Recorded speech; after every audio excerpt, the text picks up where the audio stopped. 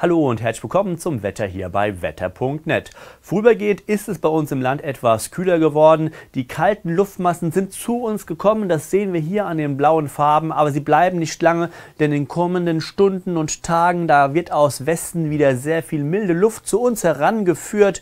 Ja, und diese milde Luft bestimmt damit viel Regen und Sturm auch den Jahreswechsel und den Start ins neue Jahr. Aber heute bleibt es zunächst noch kühl bei Temperaturen zwischen 2 und 5 Grad. Ja, und das Westen, da ziehen Schneefälle auf.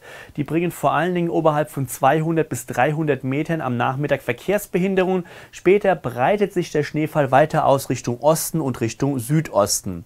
Aber es bleibt nicht lange bei Schnee, denn dahinter wird es sofort wieder milder. Die Temperaturen liegen am Samstag dann schon wieder bei 7 bis satten 14 Grad, also fast schon frühlingshaft. Es gibt viele Wolken, jede Menge Wind, teilweise auch Sturmböen und immer wieder Regen.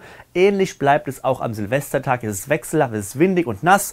Die Temperaturen erreichen sogar bis zu 15 Grad im Schatten. Das heißt, wir erreichen wirklich schon frühlingshafte Werte. Ja, und die ersten Pollen von Erle und Hasel sind auch schon wieder unterwegs aufgrund der hohen Temperaturen. Auch der Neujahrstag bleibt eher wechselhaft. Es gibt viele Wolken, immer wieder Regen. Mit 3 bis 9 Grad wird es etwas kälter. Wie geht's weiter in der ersten Januarwoche? Nun, es gibt keine große Wetteränderung. Der Winter ist weit und breit nicht in Sicht. Ganz im Gegenteil. Zum Donnerstag hin könnte es nochmal wärmer werden bei 6 bis 14 Grad. An allen Tagen gibt es viele Wolken, nur ganz wenig Sonnenschein und immer wieder fällt Regen und der Regen kann lokal kräftig ausfallen. Ja, und stellenweise müssen wir mit Hochwasser rechnen. Wo genau die stärksten Windgeschwindigkeiten bzw. Sturmböen auftreten werden, das ist heute noch relativ unsicher. Es steht nur eine sehr nasse und sehr stürmische Woche bevor.